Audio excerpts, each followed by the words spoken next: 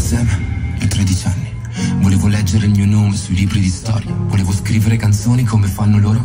Volevo essere qualcuno proprio come loro. Ma la maschera che indosso solo per piacere agli altri con il tempo mi ha portato a restare da solo. E adesso che sto andando in overdose, i miei cantanti preferiti dove sono?